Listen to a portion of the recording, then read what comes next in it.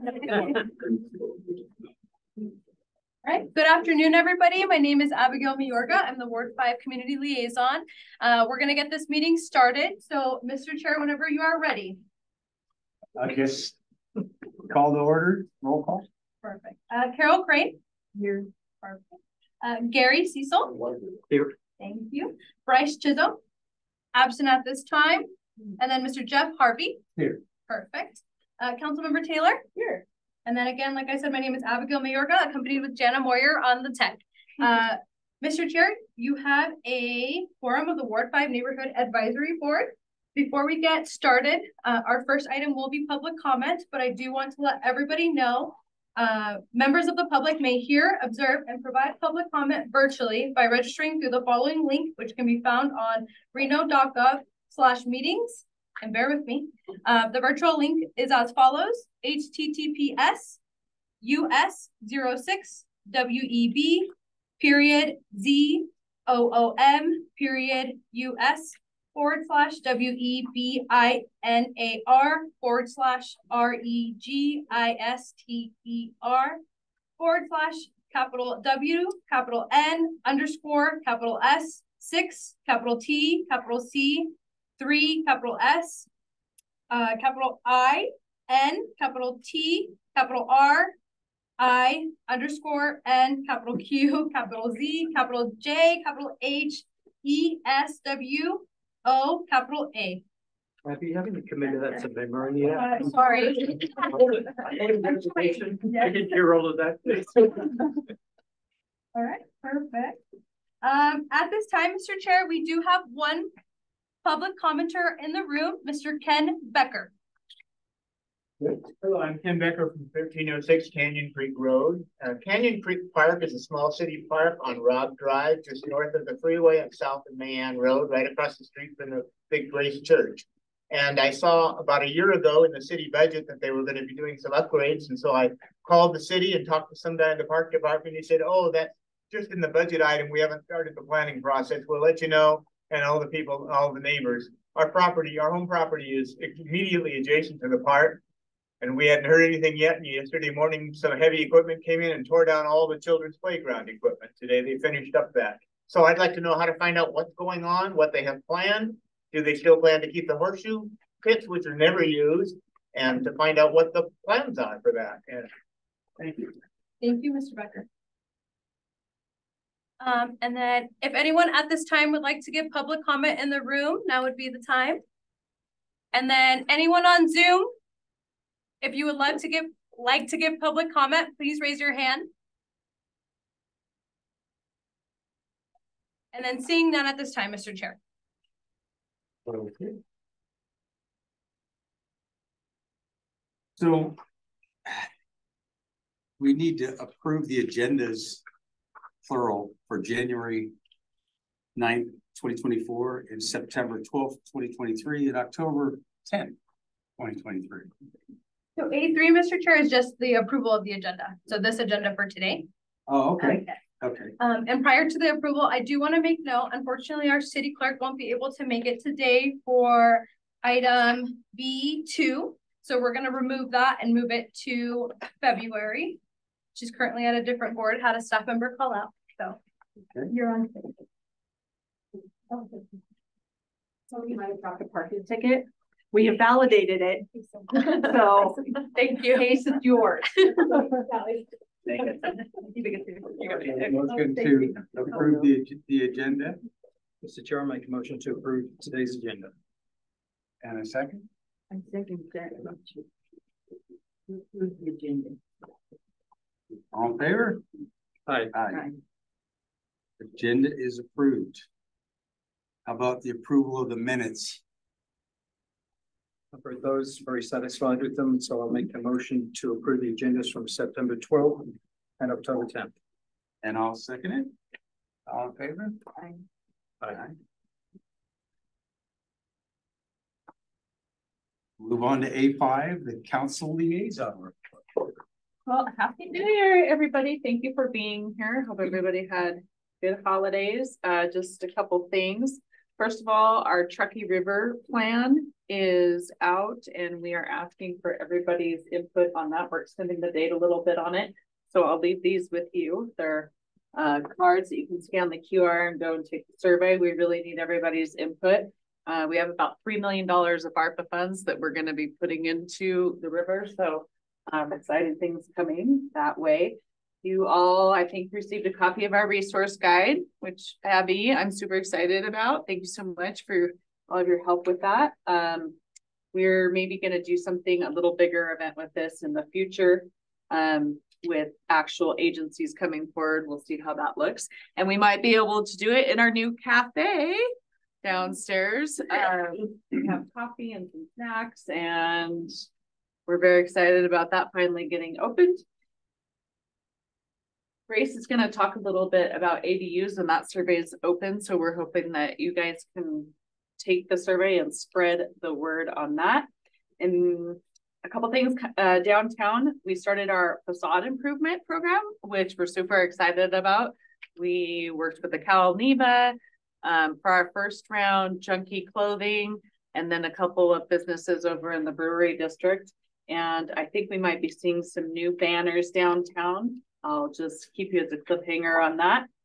uh, I just learned today that we have more trash cans on 4th Street downtown. So that's good news. And that's what I have to report for this month. Thank, Thank you, Mr. You. Chair.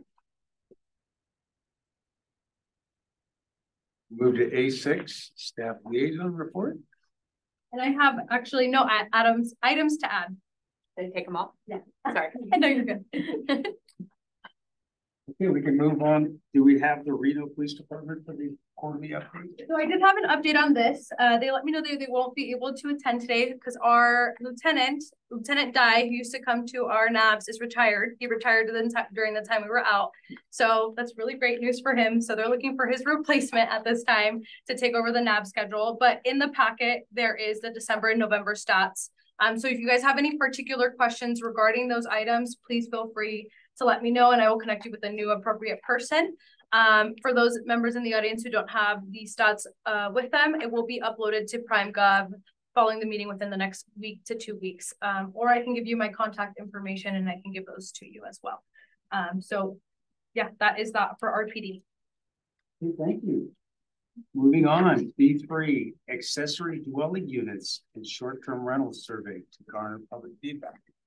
If I should stand for the mic. Um, right here, good? I think for the camera, it would be best that way. Okay. Yeah. Maybe by Mr. Chair. I'm just gonna do the whole lap. Okay. um, so I'm here today to try to solicit feedback for our accessory dwelling unit and short-term rental potential ordinances. Um, we got direction from council in November that they would like us to move forward with drafting an accessory dwelling unit ordinance. Um, and it seems to be a contentious topic.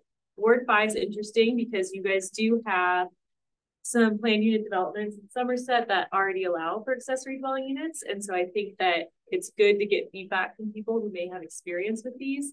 Um, and downtown, I think it's important to look at short-term rentals and how that those can impact the community in an area. So we tried to make it a very quick, um, broad survey to say this is our first step in the process. It will by no means be our final step with public input. But we want to see what the community thinks and where they stand. Um, we noticed that for our code cleanup, we did nine to 12 public outreach meetings, and we had a hard time getting public input um, and participation. Gary was at one of those meetings, and we had three people at that meeting. Um, and so it was it was tough. And so we thought for our next endeavor, how do we get more public outreach and more public input. And I think times have changed. It's we've had this survey out for a week, and I was telling Councilmember Taylor we already have 130 responses. Way different than what we've seen for public input, public feedback in the past. Um, and so our hope is that we will get the responses, we can have them on a map. Um, we want to try to get a good representation throughout the city, not just one particular area. Um, in a you know diverse responses as well. And then we'll go back to council and we'll say, here's what the community thinks here's the areas that actually want accessory dwelling units or they don't want them and what, how should we move forward? Do you want us to go to these specific areas and try to see what the hurdles or barriers are for them? Um, and try, try to keep council in the loop as well, and then we will proceed with more public outreach and input um, and actually start drafting the ordinance. So this is the very first step in the process. I have some flyers. I don't mean to overburden you guys with surveys and stuff like that, but it is the new year. I have them available in Spanish as well. Um, so I'll leave a couple on the table, and if you know anyone uh, wants to participate, um, I can send you a link that you can send out as well. Are there any questions? How long is that survey gonna be up? Until the end of February. Okay, and that's a pretty good response rate with hundred and three. St- Statistically, a good response rate is anywhere between five hundred to thousand responses. Um, polling surveys will get that, and so if we can get above five hundred responses, then it will be a statistically significant response rate. Um, and so we can rely, rely on those results as accurately representing the community. So it's a good response rate so far, but we have more- more to go. I know, uh, the last meeting I attended here at the NAB, one of the, uh, public comments was this very issue, so, and they were very concerned about it, so. um, Hopefully we'll get a really good response Mhm. on that. Yep, and it, it allows you to provide um, open-ended answers, and so if you have took it. one, oh, good, I took okay, perfect. Well, any other questions? Yeah, is the ordinance going to be that you're looking at to get information that's gonna be combined of this, um, accessory dwelling unit and short-term rentals? I'm glad you asked that. That came up as a confusion. Why are we combining these two Mhm. things? They're two separate issues, I believe, because I think short-term rentals can affect anybody and everybody, any community. Um, and accessory dwelling units will only impact the people who want to put in, you know, their accessory, actually build it. Um, but every time we bring up accessory dwelling units, naturally, short-term rentals comes up as a concern. And so we wanted to say, if we regulated short-term rentals, then would you be in favor of accessory dwelling units? Or if we did this, then would you be in favor for this? So we wanted to give people the ability to respond with, instead of just yes or no, because there's so much context there. Um, we, we thought, let's just combine them. We'll get all the feedback at this point, And then we can go forward to council and say, you know, we- we also got feedback on short-term rentals and here's the community saying on those as well. And maybe we won't do anything, but maybe we will move forward with an ordinance for that as well. Thanks. Um, in, in terms of the, uh, short-term rentals, uh, some condominiums complexes have CC&Rs Yeah. and if there was an ordinance that said something that was different than the CCRs, which one would get precedence legally? I'm glad you asked that. It would not impact the CC&Rs. So if you already have CC&Rs in place for ADUs or short-term rentals, this would not override those. Okay. And I haven't seen the, the survey yet. Um, sometimes when you lead into a survey, I've, I've seen you, you've written things just to give people some guidance. But you said it's totally open-ended. There's no kind of discussion of the pros and the cons and the typical arguments you heard in South Lake Tahoe about some of the stuff, things like that. We define both Okay. terms. We define what an accessory dwelling unit is and what a short-term rental, VRBO or Airbnb typically are. Um, but other than that, we did not say here's some arguments for or against. Um, because like I said, we, and one of the comments we got was, well, why didn't you tell us what you're thinking? What, what, what are you trying to draft or what are you trying to come up with? And we intentionally did that so we can try to get the best response rate. If, if we can do it right, this many people will support it. Final question, is this wrapped up into the broader issue of affordable housing? That I know you're also, you've mm-hmm. got a thing starting tomorrow. I'll do a quick plug. We have three meetings for affordable housing, I want my Um, commission later. right? Thank you for bringing that up. Um, we have one tomorrow at noon, one Thursday at five P M, one Monday at nine A M. Um, and they're all virtual, so if you'd like the link, I can shoot over to Abby.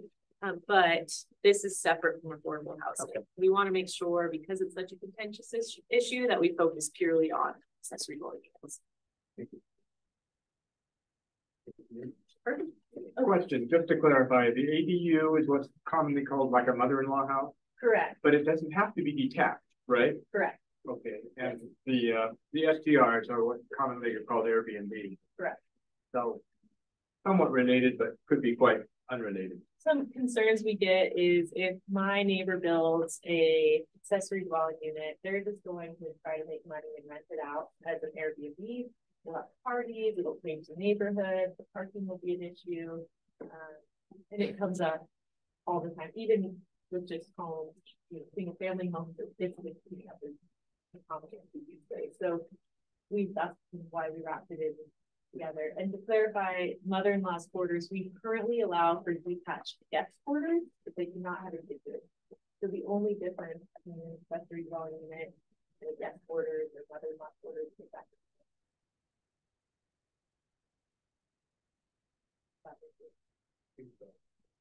Defining how, how much kitchen has to be there to be a kitchen. Oh, I have the definition. It's a technically utilities or, uh, you know, a plug for a stove and, uh, a stove and a refrigerator, because it has specific. All those things, and so you can't have a sink, you can't have a main fridge, or sometimes they have burners in there. which is not the case, so it- It's not super different, but it might allow people more flexibility. I missed what you said about the differences, you can't have a, a short, um. The, one of them would not have a refrigerator. For an accessory Okay. dwelling unit, we currently allow guest quarters or granny flats. They just cannot have a kitchen. And the way we define that is typically a stove and a plug for a refrigerator, you know, the normal heavy duty refrigerator. So you can have a sink and you can have a bathroom and uh, a mini fridge, stuff like that. So very similar, uh, but it allows people more flexibility to put a full kitchen and detached construction. Got it. Great. Well, my information is out there. I think it's on the survey, but if not, um, reach out to Abby and she can forward it your way if you have any questions, but please get the word out there so we can try to get that response rate up. Um, so it's a good representation. Great. Thank you guys. Grace. Thank you. Can I just ask one question? Yeah. The, um, the people that Jeff was mentioning, we had quite, quite a few public commenters, I think. And I, I did not keep their information, but could, could we have that from the, they would have written that down for you, right? So yes, if they um provided their email or their phone number, I will be able to send them. Yeah, I would like to contact them, because I think they, they, they would really like to participate. I, yeah, I agree. It was a perfect timing. But yes, Thank you. I can definitely reach out to them. Perfect. All right, up next, uh, we have uh Keep Truckee Meadows Beautiful. Over here, is where you want me? Yeah, fine. I, hopefully I can see the, uh, the numbers. My eyesight is getting a little worse. Uh,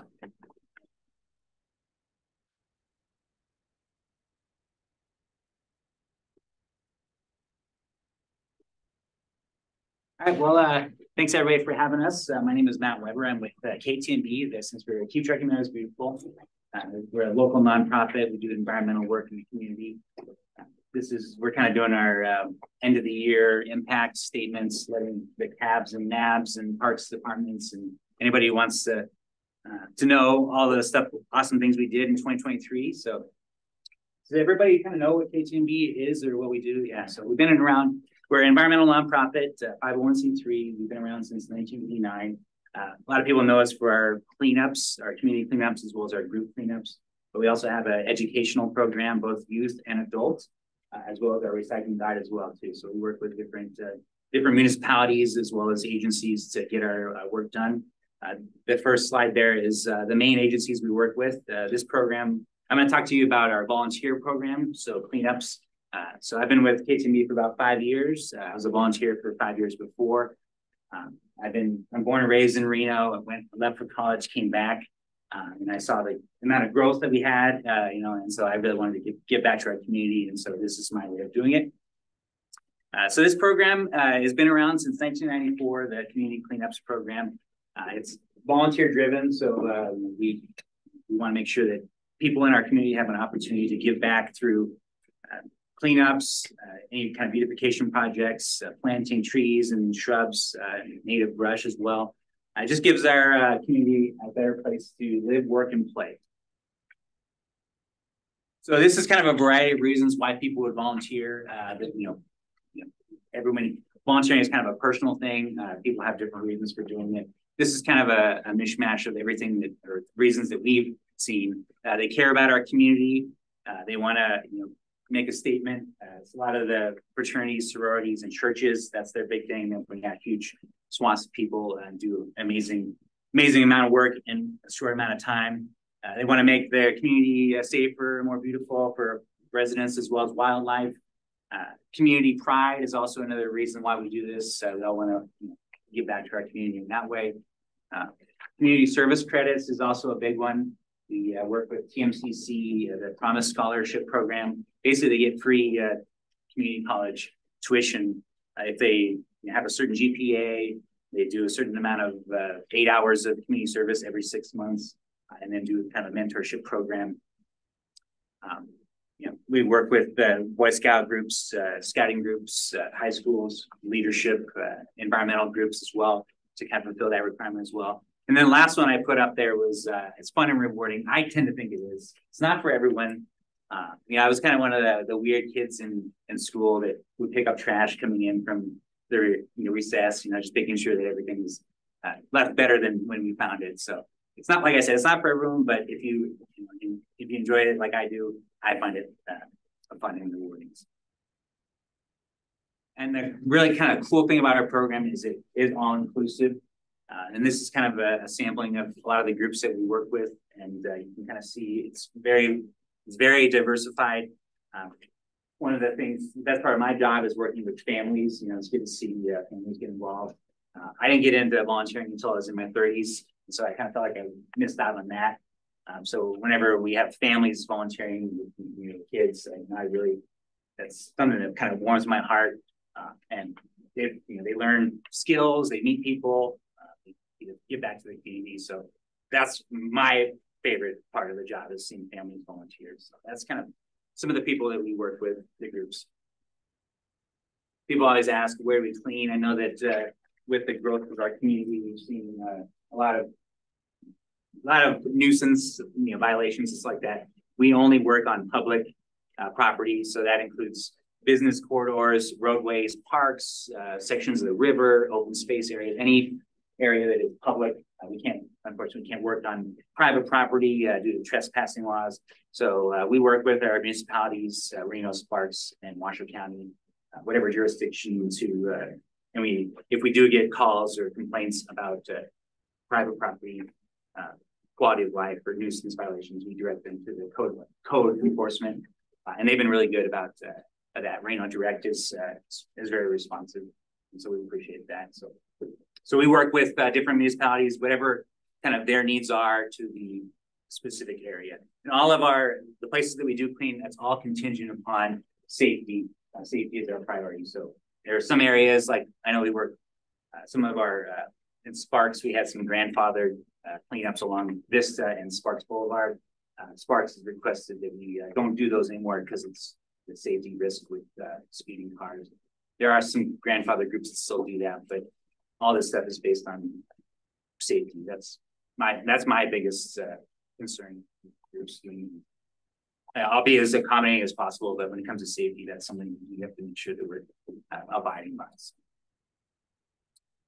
So. Uh, people ask, what will we do? And uh, while a lot of people are not, you know, trash picking up litter is a major problem. Um, but we also do a lot of other uh, beautification, different, different projects. Uh, spreading mulch is one of our uh, one of the things that we've been doing a lot recently because of the weed weed problem that we've had. Uh, last year's winter was pretty crazy, so the weeds in the summertime were out of control in a lot of ways. So we've been pulling a lot of invasive weeds as well as noxious weeds as well, and also just weeds you know, for areas that uh, in urban parks that, that just looks better. Uh, so weeding, trimming vegetation, uh, you know, we, we, trim a lot of uh, trails areas as well as willows. Willows have been growing up as well and kind of encroaching. Dog waste removal, that's kind of based on uh, certain areas as well. Graffiti, uh, we either paint over it or we have graffiti removal. Uh, we also like painting restrooms is another thing too that we've been working with the Parks, Reno Parks Department, uh, getting those taken care of as well. Um, sweeping uh, courts as well, planting trees and shrubs and native brush is something that we we're also kind of getting in. I I like those kind of events as well, uh, well because they it's planting a tree or something like that. You can see it grow and you can see the you know see everything you've done. It's kind of a more uh, long lasting uh, impact uh, and then the last two, vandalism and unsafe work conditions, or excuse me, yes, un unsafe uh, conditions. The kind of essence of the program is to be the eyes and ears of the area. So we rely on our volunteers as well as citizens and any other action groups. If they see something that needs to be taken care of, they can come to us as well as Reno Direct, and we can determine, we can either send a group out there if one's available, or we can refer it to whatever municipality uh, is necessary. So like certain things like repairing playground equipment need to be certified. So we give those, we give those back to the municipality. So. so this program is completely free. It's all paid for by a grant from uh, Northern Nevada Public Health, formerly known as Washoe Health District. Uh, everything is included. It's kind of a real turnkey uh, program. You know, all you need, we'll provide everything, uh, staff time, all the equipment, the litter pickers, everybody loves those. The rakes, we have a you know huge two, actually three huge um, sheds and Connex containers, the shipping containers full of rakes and shovels and you know anything that you need for landscaping or anything like that. So it's all free. I would rather see it out in the community than sitting in our our sheds over the weekend. So uh, if you have you have something you want to you know, take care of, you know, we'll provide the tools there. Uh, and then all you gotta do is provide the enthusiastic volunteers. And I wrote enthusiastic on there and we don't even really care if they're enthusiastic uh, because we actually had a, a, few years ago, we had a, a group, uh, the day summer day camp, and they were, uh, I guess they had mess, made a mistake and the counselors wanted to punish them. And so they contacted us and they were like, oh yeah, you're gonna, you're gonna, you know, do some hard, you know, do some labor. And then we ended up actually like creating a trail, like laying some DG and, you know, creating a trail up at uh, Rancho, and uh, the kids in at the end of the you know the project, the kids loved it. They were like, "This is cool. We're like construction workers and everything." Uh, so we got the last laugh when it came to that. So. Uh, so this is the impact for 2023, the numbers. Uh, and so these numbers right here are only for our group cleanups. The next slide is actually our two community cleanups.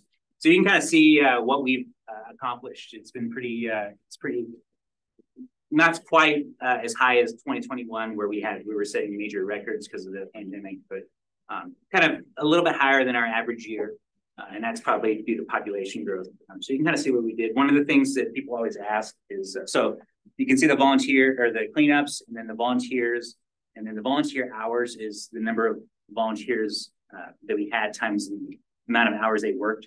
So like just for sake of easy if uh, there was 10 people and they worked three hours, that would count for 30 volunteer hours.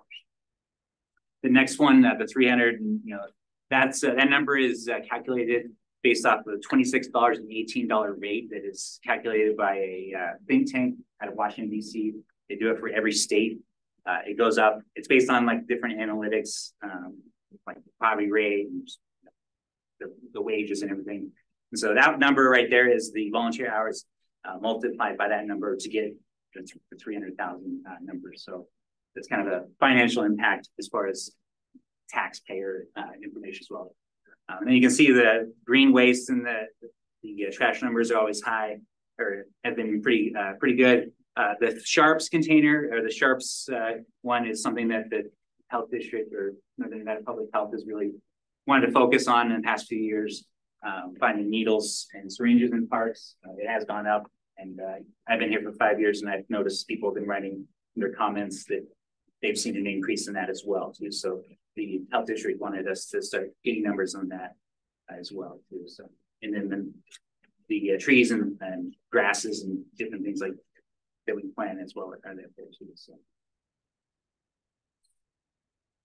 We have two uh, community-wide uh, large cleanups. So when I mean community community wide, I mean it's open to anyone in the community. That last slide was for groups, so like businesses, churches, fraternities, sororities, scouting groups like that. So this these are our two uh, large cleanups. And I won't give you the numbers, but we have our great community cleanup, but that's in uh, Earth Month. It's the last weekend in uh, September. It's kind of a spring cleanup.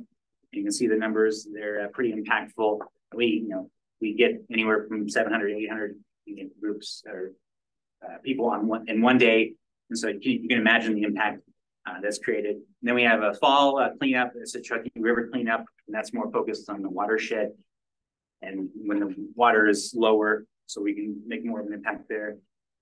So these are our two uh, large community cleanups you've probably seen advertising the volunteers as well as the impact as well. So, and then part of the at, at, for these cleanups, we do have uh, volunteer appreciation um, picnics at the end, uh, so that we want to make sure that our volunteers are acknowledged and, and recognized for all the awesome and amazing work that they do in our community. The next few slides are just kind of some pictures of cleanups that happened in the last few months. This is kind of our slow time. Uh, it'll start picking up probably mid-February, depending upon the weather, of course. Uh, but yeah, so you can see ATO was a, clean, uh, a fraternity. They did at Paradise Park, which is one of on our hot list, and uh, Mac. That's yeah, and we're working with the Councilman uh, Mart Martinez as well as uh, Donna Clons, you know, trying to get something set up for that. Yeah, it's it's a huge park and it's jurisdictionally, you know, kind of has a weird thing. So whenever I have groups that want to do something and they're not sure, I usually send them to Paradise Park, just because the size of it. So, and then uh, Reno Phil was at uh, Virginia Lake Park, and they did uh, they pulled some weeds along uh, Lakeside Drive, as well as uh, picked up trash along the, the shoreline in the playground and the dog park area. And then the RSCVA, Visitors Authority, uh, they actually adopt the McKinley Arts and Culture Center. So that cleanup was uh, pretty much leaves. Uh, so most of those bags uh, were filled with leaves. Yeah, so our upcoming events, uh, Christmas tree recycling just ended uh, on Sunday, but it'll be every year. That's where we basically take all the trees people have for their Christmas festivities. We gather them up, we chip them, and then we use that mulch to for weed abatement throughout the year. The Great Community Cleanup is what I mentioned before. This year it'll be April 27th. And then uh, bicentennial flower planting, which is right down here. I'm not sure if it's in Ward 5 or where it is with the exchange. But yeah, we plant about 5,000 of the ornamental flowers Bicentennial Park uh, with the Reno Rotary Club. Uh, yeah, it's a great, that's a cool, cool program. We work with the scouting, uh, Girl Scouts as well. Too. And then uh, next year's Truckee River cleanup is going to be uh, September 21st. If I could leave you with something, uh, anything, it would be uh, if you're interested, if you have a business, you know, people in your business want to do a cleanup church or anyone that you're interested, families, um, you come see us. Uh, we'll put you on the cleanup calendar and we'll get you going. Or if you wanted to even do it as an individual, uh, we provide all our litter pickers. We have were like 5,000 litter pickers. Uh, and if you wanted to stop by our office and pick one up and get the bags, gloves, anything you need for an event, it's all paid for and uh, it's free. And we appreciate uh, anyone that wants to come out and, and, help us. And before I forget, I brought some, I'll stick around through the end of the uh, meeting. Um, but I brought some swag for you. There's some uh, canvas bags, uh, ice scrapers and hand warmers, as well as some other stuff there too. So. Any questions? Um, most, first of all, thank you very much. I mean, I love seeing the photographs of people of all ages and backgrounds coming together. I'm most interested in, do you, when you get together with uh, children from schools, is there an educational component? Do you take time yeah, to yeah. educate as well? That's a good question. Good, good question. I'm glad you brought that up. So what we have is what we call service learning. And so we have, uh, we have, we have an AmeriCorps program and we have educators who work in that, and then we have an educate uh, both youth and adult educators. And so the service learning aspect is uh, so like say you know Jessie Beck's school, uh, they want to learn about the different mod. We have three different modules for education: weeds, water, and um, waste.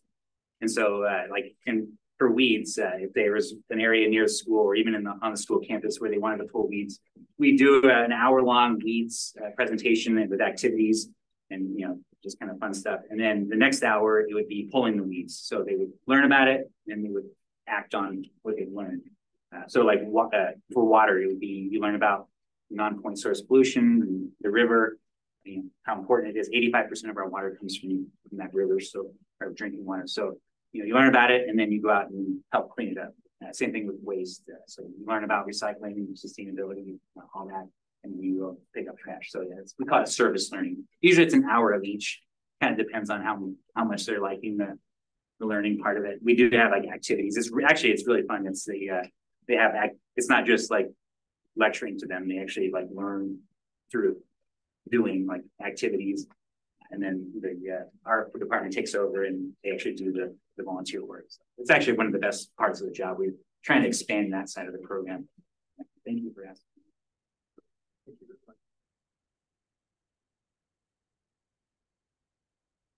Thanks, everybody, uh, and uh, appreciate you having us. Thank you.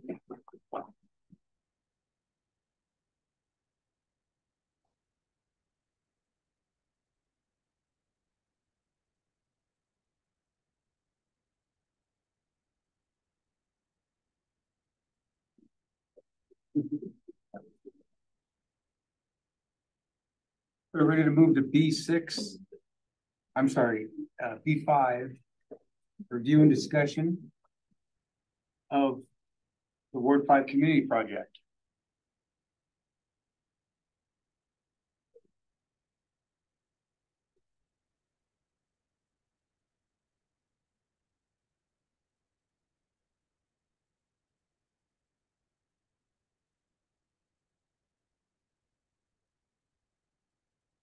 Okay, thank you. I'm just gonna sit right here and talk if that's okay. So for um, those of you that aren't familiar with this, this is pretty unique to this NAB. Um, they're doing something kind of piloting a project.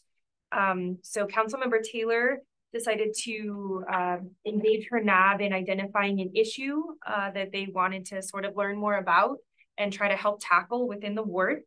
Um, in June of 2023, they kind of generated this list of problems that they experienced either themselves or heard from other people in the ward um, that they, they felt could use uh, some some support and uh, the contribution of $5,000.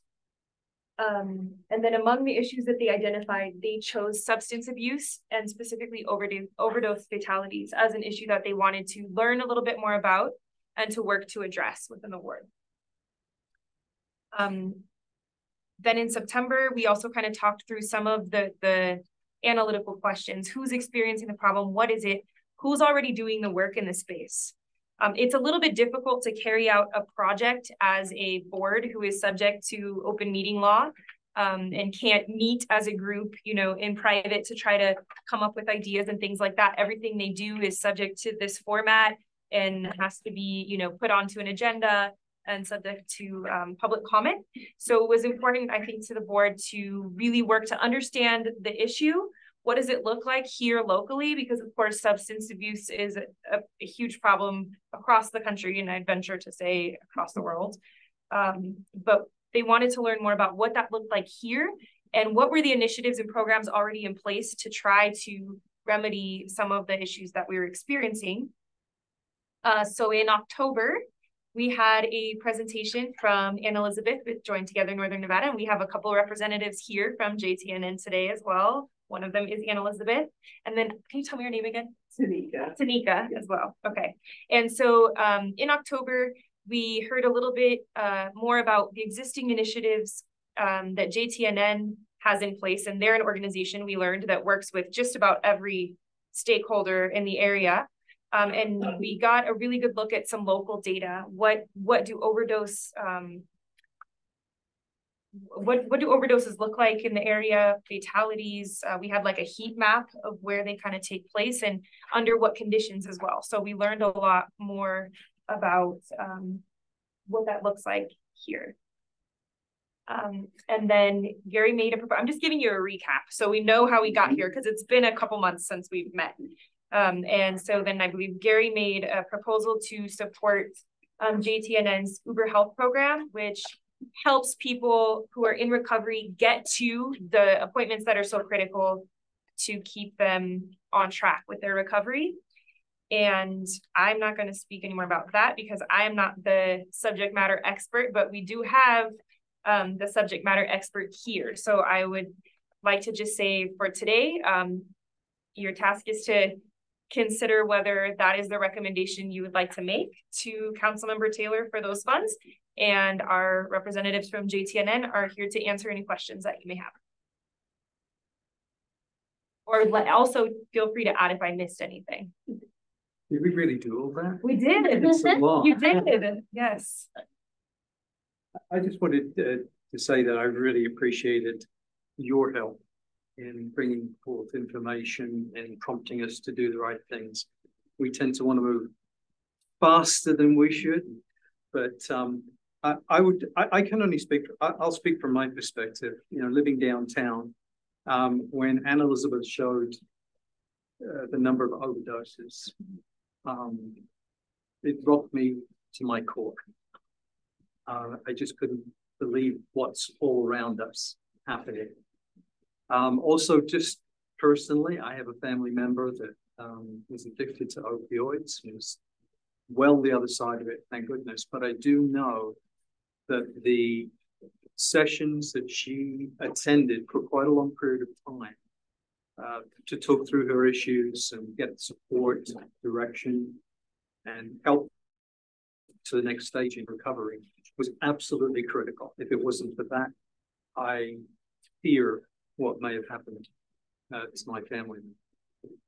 So when I heard that oftentimes the smallest things can cause somebody to uh, basically lose their path the way they're going, uh, in particular if they're already in a, a recovery program and they're doing okay, but for economic reasons or they're too far away and they can't get there, that to me was an immediate kind of need and an urgent thing that needed to be done. That and the fact that, as Anne Elizabeth pointed out, uh, the program and the money, the funding for it had just run out. And it, it, seems like if you think about it, you couldn't get there, you could get but well, you know what? It doesn't matter. If someone started down the road to recovery, the most stupid thing socially and personally is to because they can't get somewhere that they just fall backwards again. That's bad for the person, it's bad for their family, it's bad for society. Mm-hmm. So it seemed to me when I saw the articles about the Uber program uh, and their HIPAA, the drivers are HIPAA qualified, so their confidentiality is there. And that I heard some stories, maybe Anne Elizabeth, you might want to relate a couple. I asked, can you tell me some stories besides the numbers? You know, where did this make a difference to have somebody carry it through? Um, I, I, just thought this was, to me, the kind of thing we would look um, as something that needed help, something that was worthwhile, good for people, good good for Ward 5 and good for the society we live in. So personally, I'm very supportive, but I've been talking the most, listening the most, so I would like to turn it over to my colleagues here for their comments and questions. I'll say my piece. Um, I spent 28 years in law enforcement and I was exposed to a lot of drug addiction and um, nowhere near in my 28 years did I see the explosion of fentanyl that is creating these these addictions and overdoses to the extent that it's overwhelming societies. So my perspective although it's a limited amount of money that we can provide, it's something that we can help. And it's a, a fantastic cause. And, and it's one that's not going away. We, we need to get as much help to these people as we can. And so I'm I'm strongly uh, for this. That's my perspective. My son is a, a police officer in the Bay Area, and uh, he tells me how much they're running into the overdoses on a regular basis. It's just frightening. It's absolutely frightening. So if we can help in that regard, getting people on the path to recovery, keeping them on the path to recovery, I'm all for it. So you have my support. Well, having lived in environments that are more like this type of a problem, I'm aware of the base of it is. but I've seen it for years. And I don't see that there's always, always, always a problem. And, you know, I think it's quite nice to think that we can actually do something. There's plenty of programs out there that have been RMU and have been for years. So you know, what would the purpose be when we attach something to a particular program? So that this is what City of Reno um, community board feels is the right thing to do and or help. Mean, what what would we get out of this? There's an existing program that is run by an Elizabeth's organization. So it was, it's always already got a number of statistics to prove the work of the program, the number of rides given, the number of people kept in the programs. So what we would be doing in a very narrow way is to support that by providing some funds to start that up again to get people that, that transportation. The other the other thing I'm interested in, Carol, too, is um, can we challenge other groups, other organizations to match or to get involved? Could we be one that would lead the other NABs down a certain path and spend time to talk, go and talk to them? I like that. That sounds good. So I, I, that's a broader kind of thing. It's a different question. It may be a different project. Oh, to me, this was quite broad, but when you narrow it down something a little more specific, could actually help. Elizabeth, did you want to speak to that? Yeah, I'm happy to speak to that and lovely to meet you all in person. I'm happy to be here. Um, and thank you for the invitation. Um, so it sounds broad when you look at it on paper and I, and I can understand uh, your perspective there. Um, the Uber Health program is really scalable. So when we were doing it via the CDC grant, we were able to do a pretty broad reach across Washoe County for anyone who needed substance misuse treatment. Um, in collaboration with you, we can set some boundaries around that so that that money goes um, specifically to um, to specific things. So we can scale that down so that that $5,000 really makes the impact that you're looking to make. Um, and so that can look like um, we service specific treatment centers. Um, and I have some data about what the most common treatment centers are that people were calling for rides for. Um, or we narrow that down if we're taking more of a harm reduction approach, we'd narrow that down to MAT programs, the medicated assisted treatment. Um, or if we want to go the maintenance and recovery route, we can narrow that down to AA or NA meetings. We can really tailor it so that it's making the impact that you're looking for.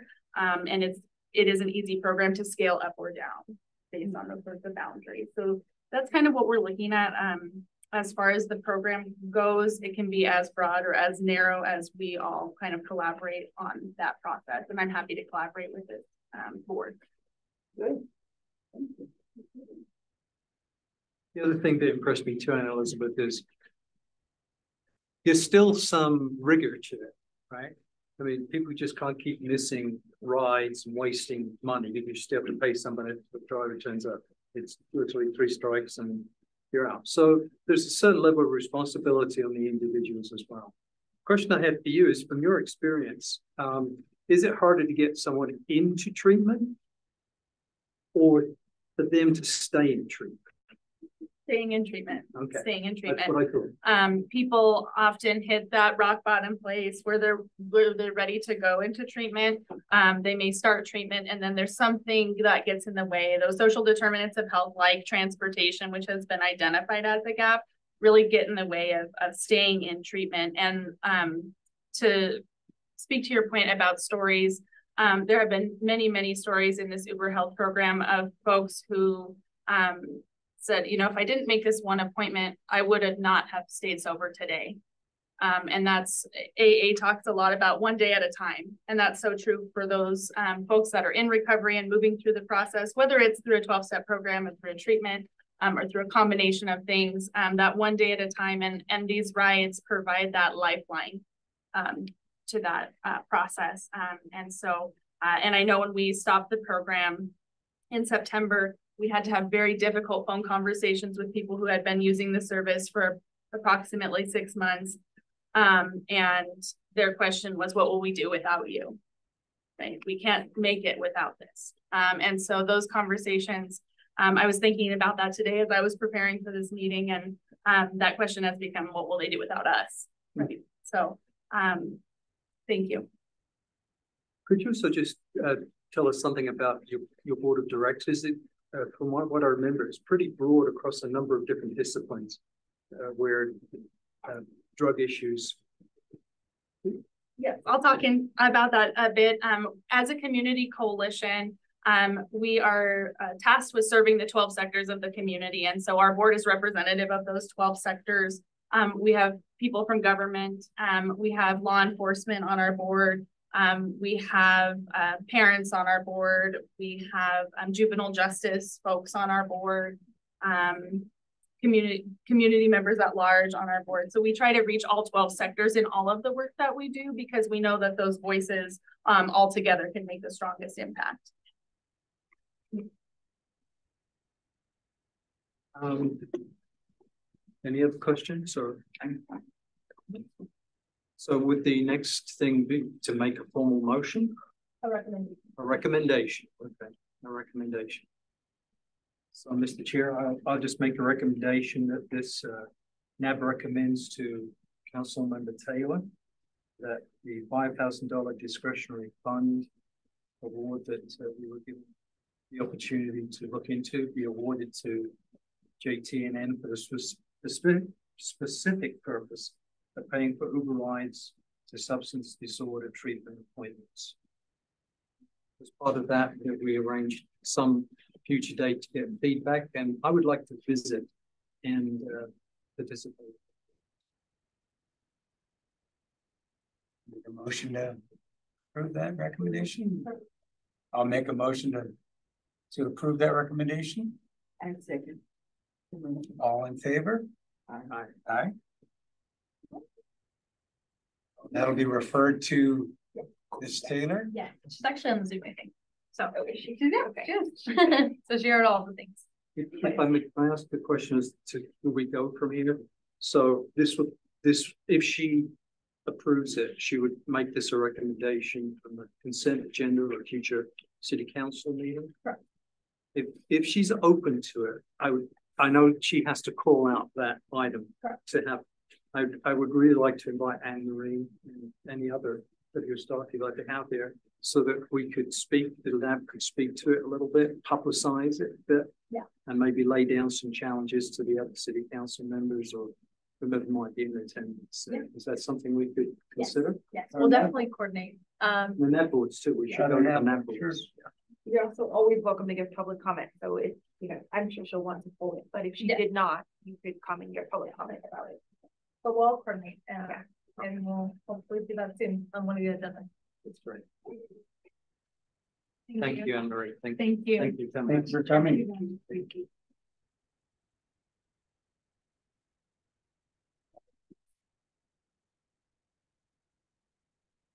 Uh, and we'll be moving on to B six, uh, so B six, or B dot six dash one, Reno Axe. Do we have any representative from Reno Axe today? Hi. Hello.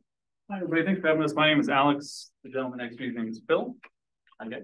Today, we're going to be talking about what we're currently doing at Reno Axe. For those of you who don't know what we are, what we do, what we plan to do with this new permit, uh, kind of a surrounding area impact, and then we'll wrap it all up for you.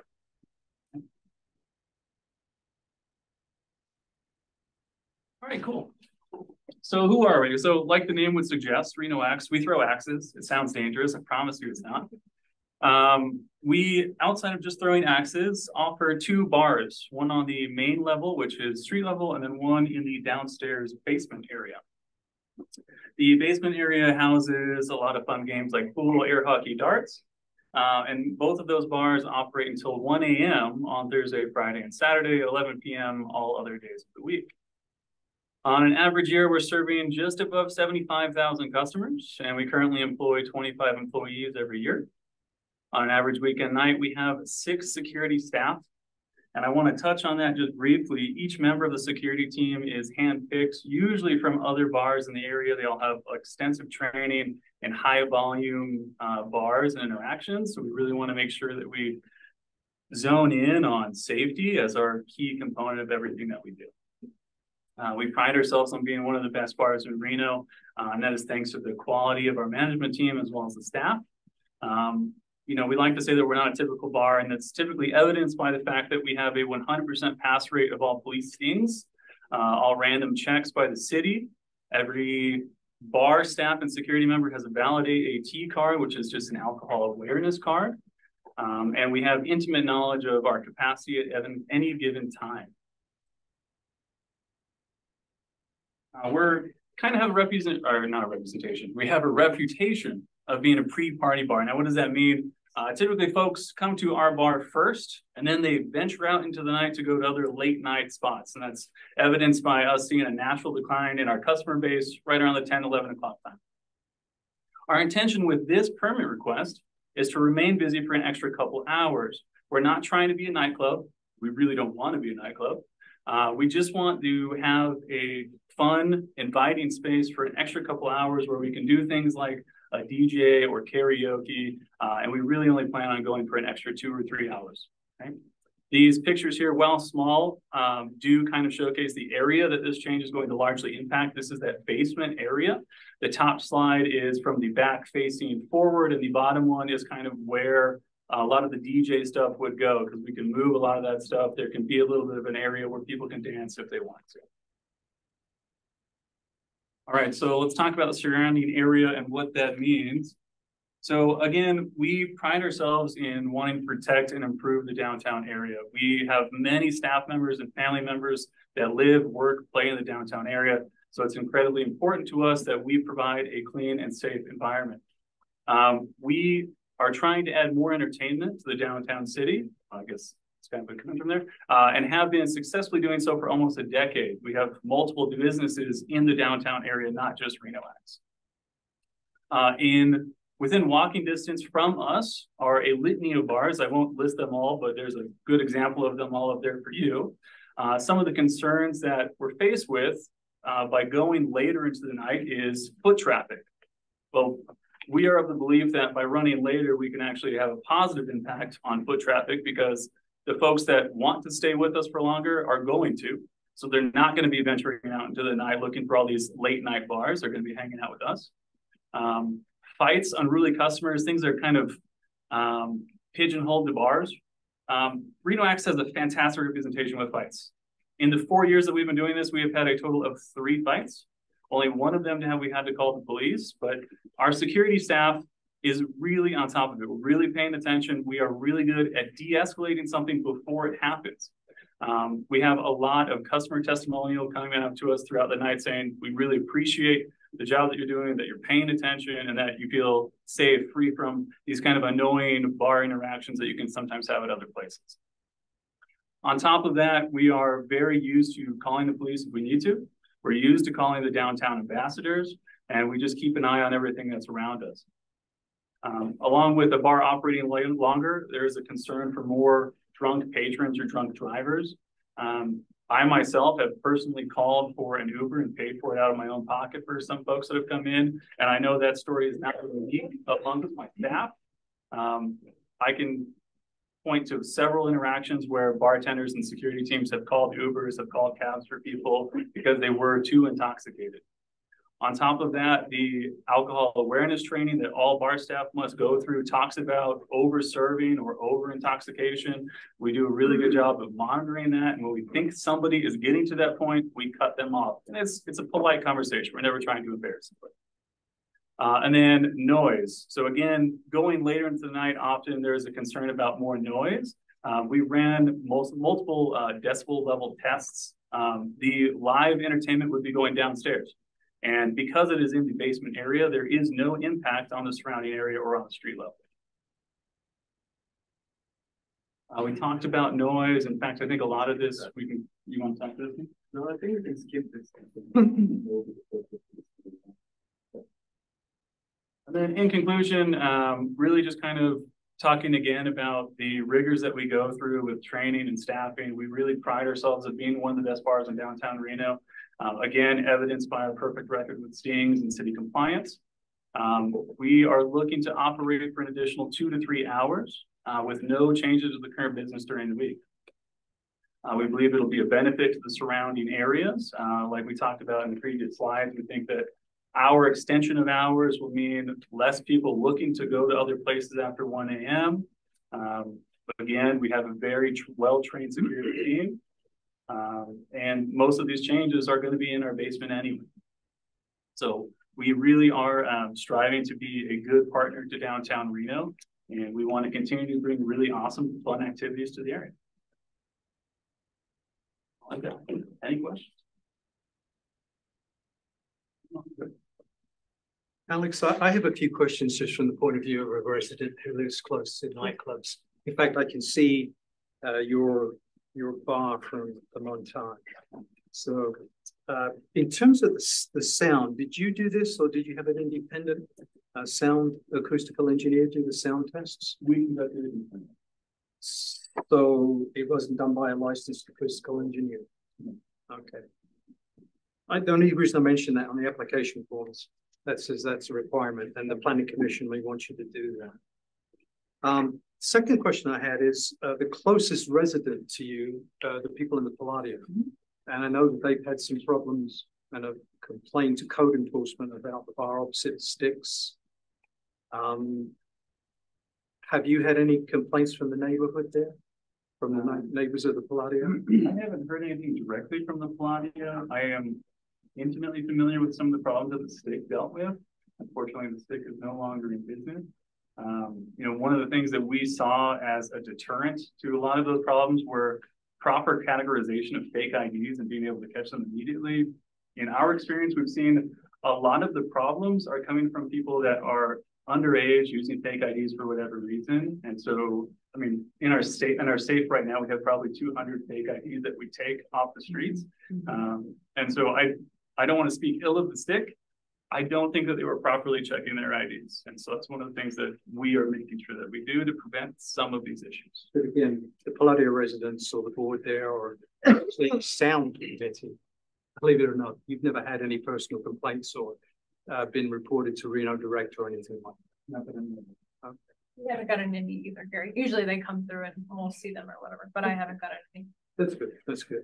Um, so are you, are you going to get a, a licensed engineer to do the sound study? And what kind of music will the DJ be playing? We're not quite sure. Okay. Would it be anything with a heavy booming bass sound? Even if it was, it's in the basement. So there would be no noise impact to the street level. You may be surprised. Um, we have three um, cabaret licensed nightclubs uh, on Second Street between West and Arlington. And they close their windows, they close their doors, um, they put soundproofing in there. Uh, but certain types of music are on a scale that don't register on what's called the A scale, decibel A scale.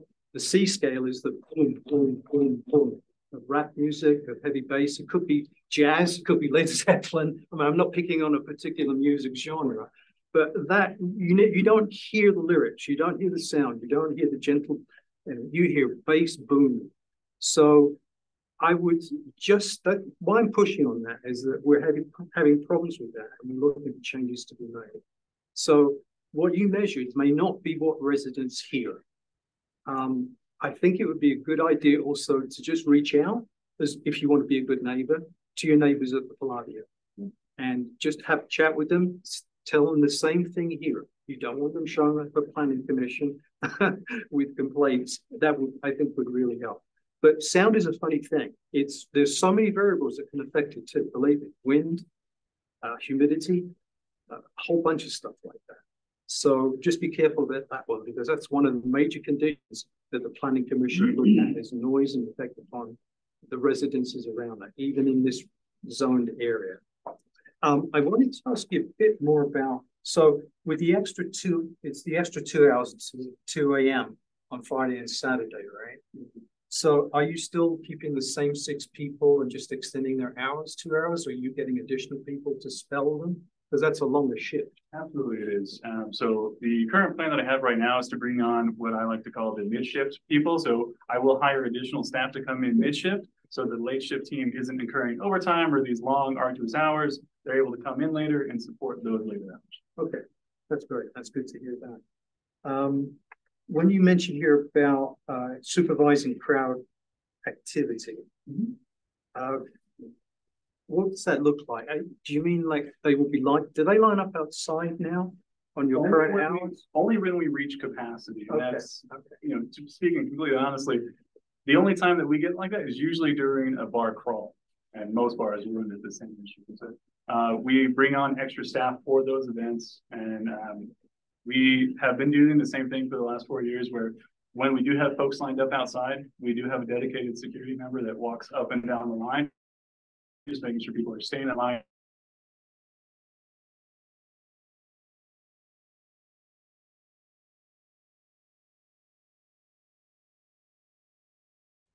Um, so they would be aligned, would it be, would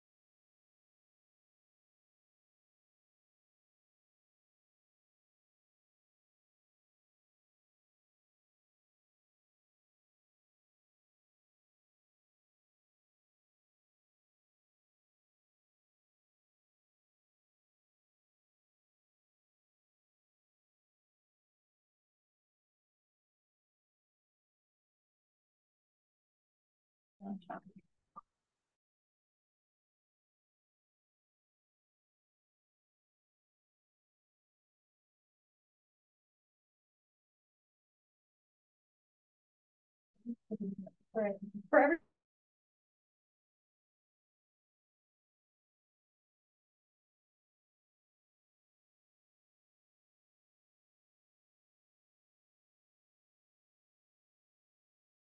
Make sure you guys can.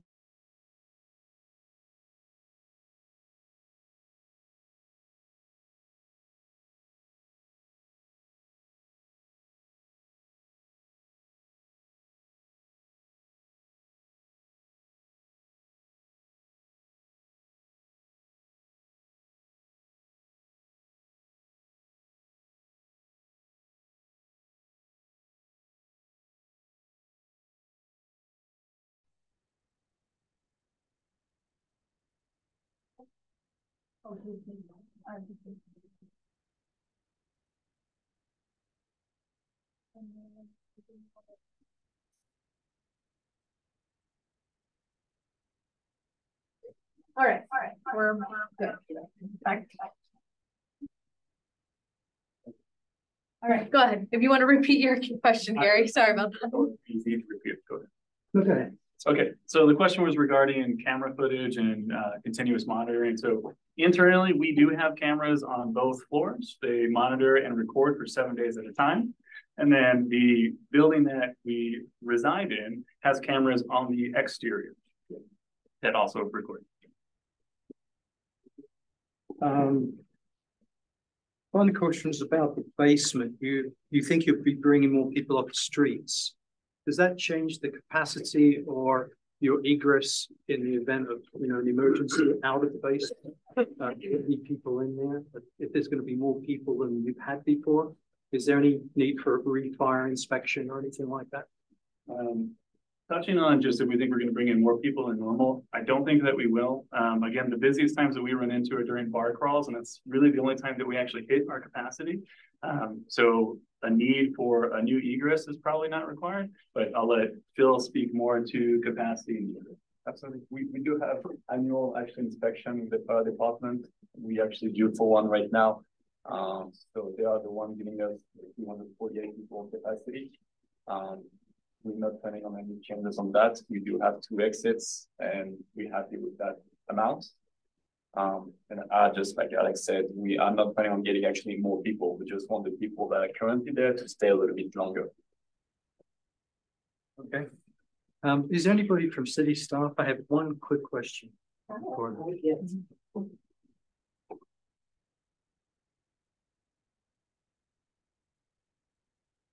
And then can you state your name? Yes.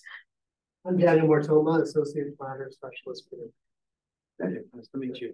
Just two quick questions. Um, can this conditional use permit be conditioned specifically to those hours that uh the owners want it for to two AM?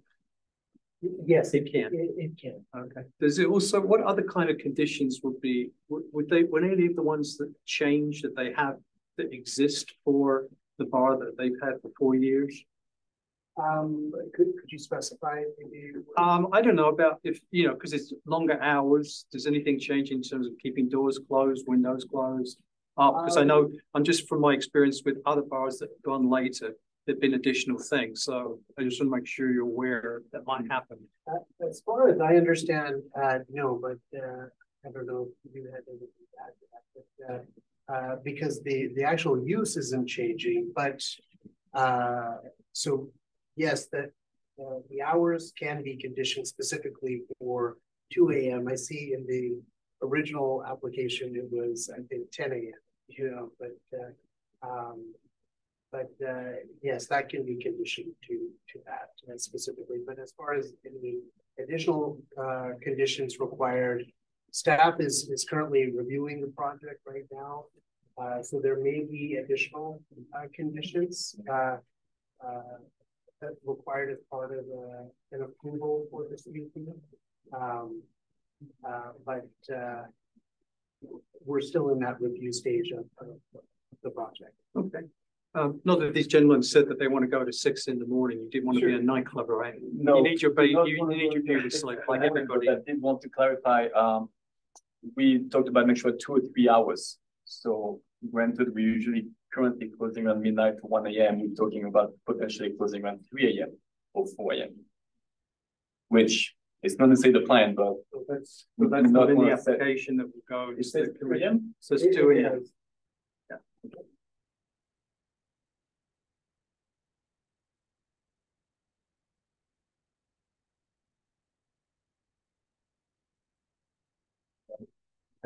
So that, that would be. That would need to change, we'll probably amend it to three AM. Oh, Yeah.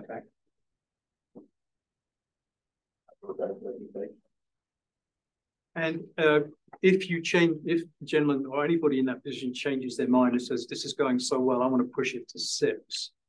Would they have to come back for an additional permit, a conditional use permit? Would. Or would this be, would you Uh, cover? it? well, it- it depends on, uh, the condition, if that's, uh, specified for, let's say it was, uh, and this is just an example, but let's say it was specified for two AM uh, in the condition, and they wanted to extend that to three AM, four AM, or six AM Then, then they would need to come back for, for that. Okay. So this will be pretty tight to, It whatever, would it's gonna be. be three AM, you're saying? Yeah. Okay. If, if you, by the way, if you do want to contact the Palladio, I know quite a few people there that are interested. And I'd be happy to share that with you and give them a heads up that you might be contacting them. I think they would appreciate that. Absolutely.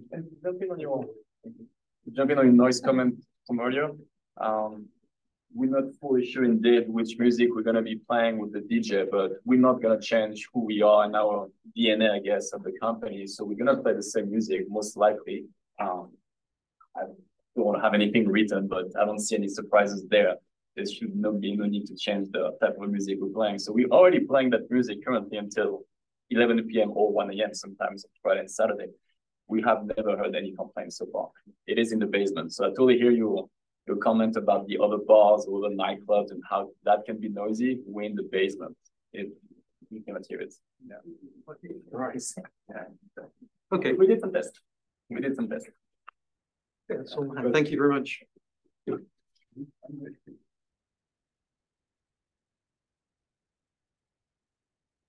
Moving on to item B seven.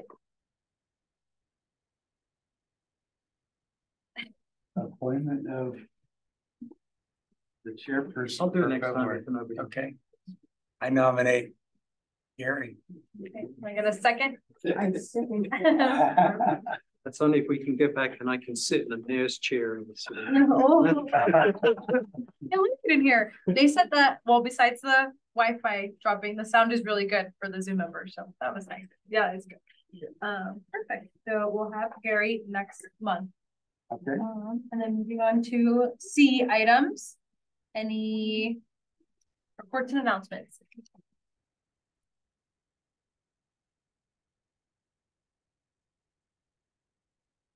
We're moving on to D. Do we have any future agenda items? The only one I was interested, I was going to ask whomever came from RPD, but Uh-huh. um, Chief Nance says it's deeds program, directed engagement enforcement deployment strategies. And she had a, a meeting, but she didn't go into very much detail. And I was wondering if we could have some update from someone at RPD. Apparently there was a pilot study done downtown, and I think there'll be a lot of interest in the results of that. Yeah, no, that'd be great. We're, I'm definitely gonna ask the new RPD member to come in February to give you guys the update. So hopefully he'll be able to answer questions, but I'll prep him about needs. Any other future agenda items? Awesome. And then, uh, public comment. We do have one individual in the room for public comment. Mr. Mac Rossi. For the record, Mac Rossi, uh, I'm familiar with a few people here. Uh, I was more familiar before you kicked me off the board for a year. So I wanted to let you know that I've applied to reapply. So if there isn't space available, if I can't get your support, if there isn't space available, I'd suggest Gary, Gary quit and get over to the planning commission where he's really needed. But thank you, appreciate it. Matt. Um, and then anyone on Zoom, if you would like to give public comment at this time, please raise your hand. Should be the icon at the bottom. Perfect. Seeing that at this time, Mr. Chair. Have a motion for adjournment. Yes, I'll make a motion to adjourn. All in Favor? Thank you. Excellent. Thank you. have adjourned six forty-eight P M. Oh, you're looking now. Thanks for. Thank you.